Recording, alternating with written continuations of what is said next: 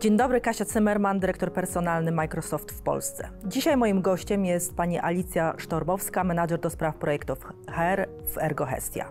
Cześć Alicja. Cześć Kasiu, witam serdecznie. Alicja, coroczne badanie Work Trend Index przygotowane przez Microsoft wskazuje, że 73% pracowników oczekuje elastycznego modelu pracy. Jak wobec tak wyraźnego trendu najlepiej zarządzić hybrydowym środowiskiem pracy? Ja może zacznę od tego, że my do czasu pandemii co do zasady nie pracowaliśmy zdalnie. Więc jakby stanęliśmy my jako pracodawca przed wyzwaniem pewnego rodzaju, wprowadzając pracę zdalną, ale również było to wyzwanie dla naszych pracowników. Dziś e, po ponad roku już wiemy, że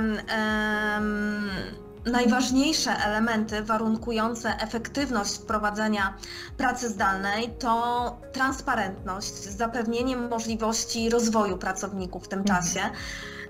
Zapewnienie im poczucia bezpieczeństwa, taka elastyczność w zarządzaniu oraz e, skuteczna komunikacja.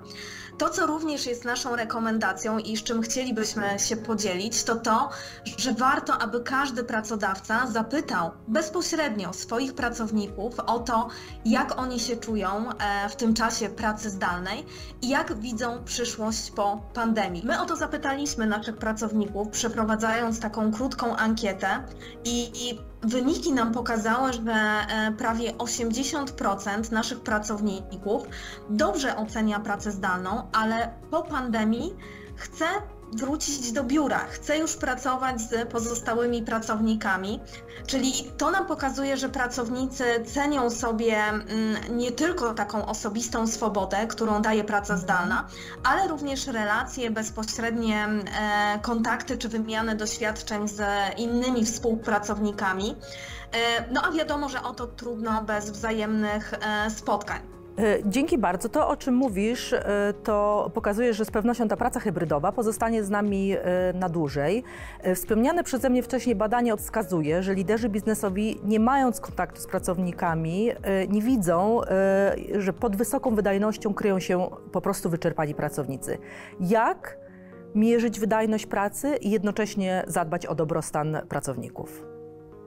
Mhm.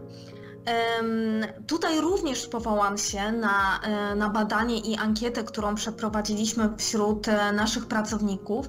Znacząca większość naszych pracowników, bo 78% e, mówi nam o tym, że w trakcie pandemii, w trakcie pracy zdalnej ich wydajność, efektywność nie spadła, a nawet wskazują, że w ich ocenie ta efektywność jest wyższa.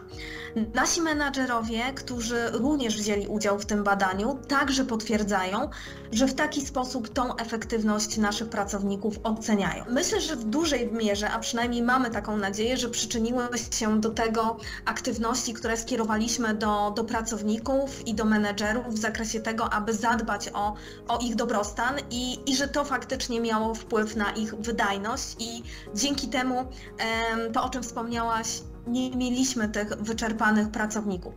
Po pierwsze, mm, zaproponowaliśmy naszym pracownikom taki program jak e, Odnowa, to jest jego e, nazwa, i to jest program, który właśnie pomaga naszym pracownikom dbać o ich e, dobrostan. Zaproponowaliśmy im set aktywności typowo fizycznych, czyli nasi pracownicy mogli uczestniczyć w organizowanych przez nas zajęciach z sportowych, z zumby, jogi, z tai chi, ale również jakby podchodząc do tematu nie tylko w zakresie takiej aktywności fizycznej, zaproponowaliśmy naszym pracownikom bardziej e, merytoryczne wykłady.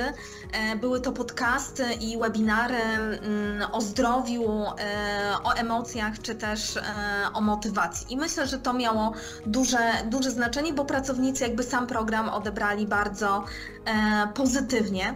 Również um, wspominałam o tym, że to, co wpływa na skuteczność pracy zdalnej, to jest również to, aby mimo wszystko zapewniać pracownikom e, rozwój.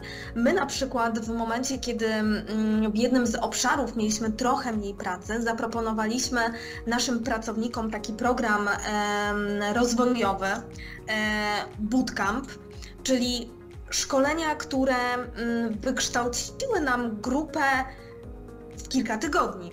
Grupę e, specjalistów w zakresie programowania e, RPA, czyli mieliśmy pracowników, którzy mieli pewne podstawy w tym zakresie. My zaproponowaliśmy im intensywny, kilkutygodniowy program, który jakby wykształcił nam już specjalistów w tym zakresie. Również staraliśmy się e, bardzo wspierać naszą kadrę, kadrę dyrektorów i, i menadżerów, że w sytuacji, w której w czasie pandemii spotykali się oni z z różnymi emocjami ze strony pracowników. E, staraliśmy się ich wspierać w rozwoju umiejętności przywódczych, w codziennym zarządzaniu zespołami i w biurze, ale również w, w przypadku zespołów e, pracujących zdalnie. Staraliśmy się ich wyposażyć w odpowiednie kompetencje, które po prostu ułatwią im zarządzanie zespołem e, rozproszonym. Alicja, bardzo dziękuję za podzielenie się Waszym ciekawym doświadczeniem, ale też przede wszystkim e, dziękuję za podzielenie się perspektywą w tym e, dla nas wszystkich e, nowym trybie pracy i tym, co czeka nas nowego właśnie na, na rynku pracy. Dziękuję Ci bardzo. Dziękuję również.